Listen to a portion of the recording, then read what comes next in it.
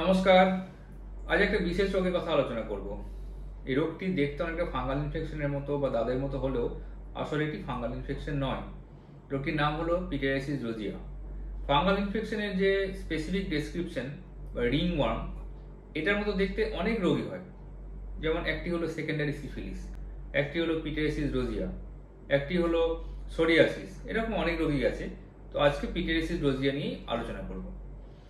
এই রোগটি দেখতে একটি গোলাকার চাকতির মতো, যার মাঝখানের জায়গাটা একটু কম ইনভলভ একটু খোসা ওঠার মতো থাকে এবং সাইডে চার পাঁচটা একটু উঠে উঠে থাকে এবং একটা অদ্ভুত টাইপের স্কেল থাকে বা খোসা থাকে যে খোসাটা ভিতর দিকটা মানে রিংটার যে ভিতরের যে সাইডটা সেই দিকটা যেন একটু ঝুলে থাকে হ্যাঙ্গিং কার্টনের মতো।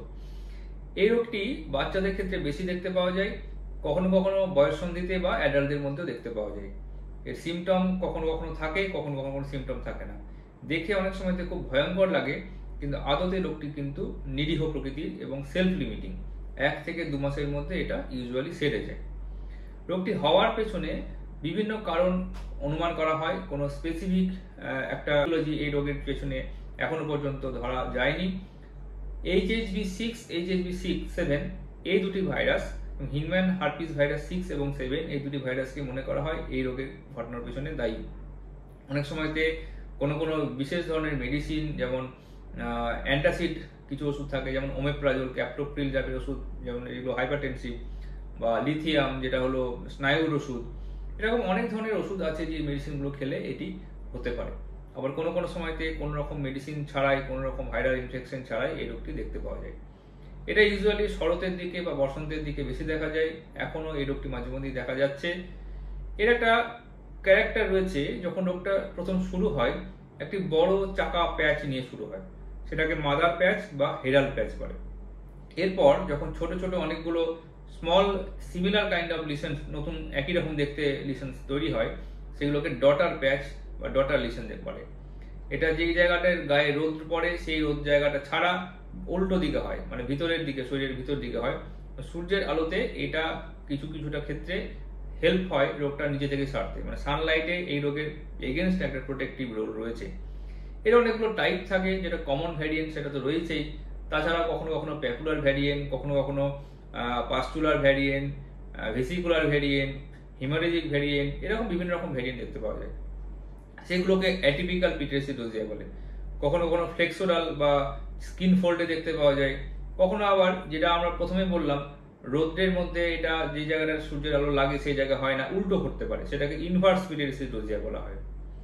এই রোগের ক্ষেত্রে সিমটম যেহেতু খুব বেশি থাকে না, সেই জন্য অনেকেই এই রোগটি নিয়ে খুব একটি গুরুত্ব দেন না, কিন্তু দেখতে যেহেতু অনেকে ভয়ঙ্কর লাগে, খুব খারাপ লাগে দেখতে, সেই জন্য লোকে সিমটম না থাকলেও অনেক সময়তে চিকিৎসকের শরণাপন্ন হন।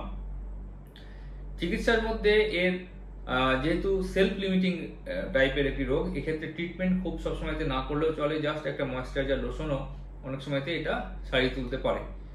সেক্ষেত্রে শুধু সময়টা দিতে হয়, একটু ধৈর্য ধরে এক থেকে দেড় মাস, দু মাস পর্যন্ত ময়েশ্চারাইজার লোশন লাগিয়ে যেতে হয়। কখনো কখনো প্রচণ্ড ইচিং হয় ইচিং যদি খুব বেশি হয়, তাহলে অ্যান্টিহিস্টামিন লিবোসেট্রিজিন ফেক্সোফেনিডিন জাতীয় যে অ্যান্টিহিস্টামিনগুলো রয়েছে, সেগুলো প্রায়শই ইউজ করা হয়। কোনো কোনো সময় খুব বেশি মাত্রায় হলে বা খুব সিমটোমেটিক হলে টপিক্যাল বা সিস্টেমিক স্টেরয়েড ইউজ করা হতে পারে। এছাড়াও ফটোথেরাপির একটি ভূমিকা রয়েছে, সেখানে narrowband UVB ultraviolet B phototherapy যেটা সূর্যের আলোর মধ্যেও থাকে, সেটা এই রোগের তাড়াতাড়ি রেজলিউশনের জন্য হেল্প করে।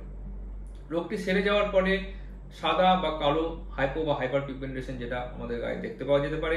আমাদের দেশের মানুষদের ক্ষেত্রে এই রোগটি প্যাকুলার ভ্যারিয়েন্ট হিসাবে বা ছোট ছোট দানা হিসাবে বেশি দেখতে পাওয়া যায়। বাচ্চাদের মধ্যে খুব কমনলি দেখা যায়। দেখতে খুব ভয়ঙ্কর হলেও রোগটি একদমই নিরীহ।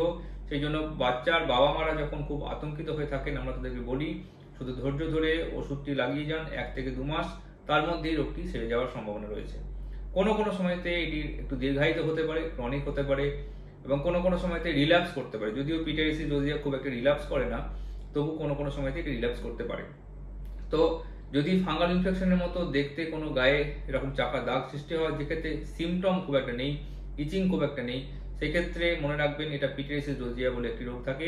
সেটি হতে পারে সেই জন্য আতঙ্কিত না হয়ে কিছুদিন অপেক্ষা করুন। সাধারণ কোনো ময়েশ্চারাইজার লোশন যেগুলো বাড়িতে থাকে সিম্পল নারকেল তেল হোক বা যেগুলো ভেসলিন বডি লোশন টাইপের যে ময়েশ্চারাইজার লোশনগুলো থাকে, সেটা ইউজ করুন অ্যান্টিস্টেমিন খান। তাতে না কন্ট্রোল হয়ে না কমলে তখন আপনারা চিকিৎসকের স্বর্ণাপন্ন হতে পারেন। খুব সহজেই চিকিৎসা করা সম্ভব। এবং খুব সহজেই এর থেকে মুক্তি পাওয়া সম্ভব। নমস্কার।